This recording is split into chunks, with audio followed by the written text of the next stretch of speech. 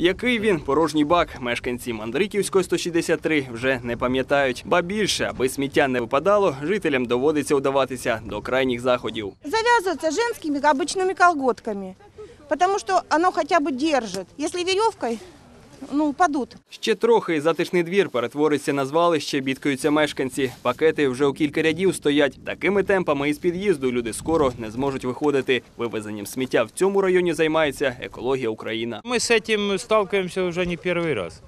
Это было и в декабре, и осенью. Мы платим непосредственно перевозчику мусора. Но на качестве услуги это никак не отразилось, а наоборот только усугубилось, у- ухудшилось. Раньше такого не было. Мешканці вимагають провести новий тендер і змінити оператора на більш відповідального. Але таке навряд можливо коментують у міськвиконкомі. В этом году мы пересматривать итоги конкурса и результаты не будем.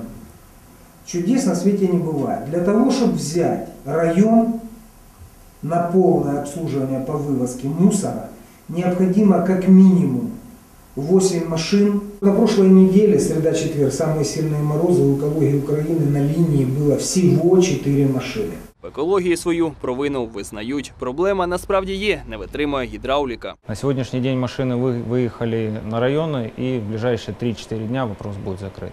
Через морози страждає техніка всіх міських операторів, що вивозять сміття. Тільки на погодні умови покращаться, підприємства знову увійдуть до звичного графіка приблизно за кілька тижнів. Олексій Кукоба, Андрій Гречников, Дмитро Солодовник. Деталі.